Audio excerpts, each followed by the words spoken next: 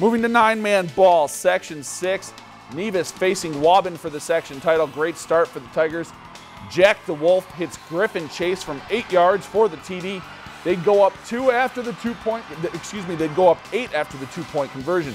In the second, up two, Tigers with the big play. DeWolf hits Andrew Dudley, gets behind the D and is gone 63 yards to pay dirt.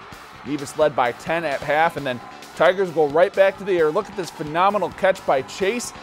25 yards, and they lead 22 to 6, but Waubun would storm back. Mason Bartos scores on the five yard TD run with 28 seconds to go as Waubun takes down Nevis 32 to 28.